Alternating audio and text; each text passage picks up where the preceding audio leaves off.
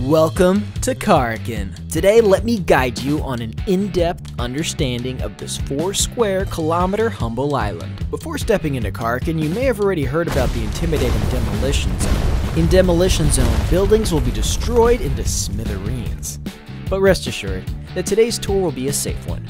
Karakin might be a small island, but the textile industry of the island works as a crucial financial support for the entire island. Our first attraction is Al Hayik. Al Hayik is a medium-scale town, and people who lived here refine pigments for a living. Then those pigments will be sent to Hadiqa Nemo for dyeing. Skyscrapers are scarce in Al Hayik. Compared to other urban areas, there are fewer visitors here, which makes looting easier. It's a perfect choice for a team of four in search of adequate equipment supplies. We'll be walking by the sea, and our next attraction will be Hadiqa Nemo, which serves as the port of importing raw materials of Karakin.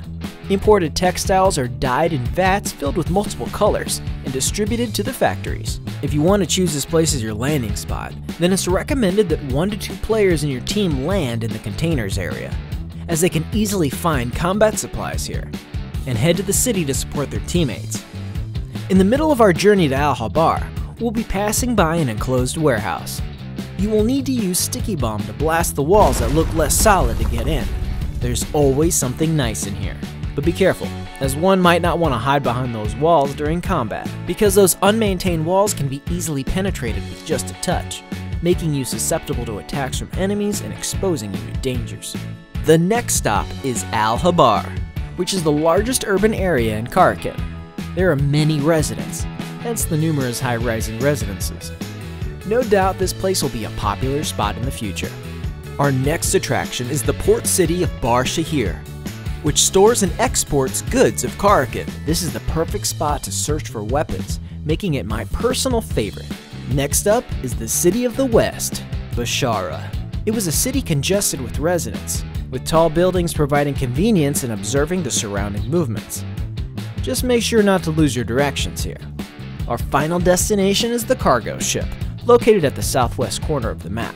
This ship has been idle here for like forever, and has already been abandoned. Yet there are still goods that remained here.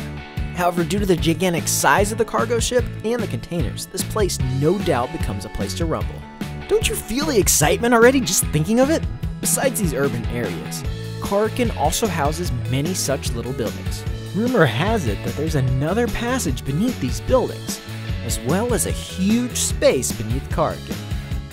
Well, it's up to you, believe them or not. Alright, your Karakin tour is now closing its curtains. Looking forward to seeing you next time.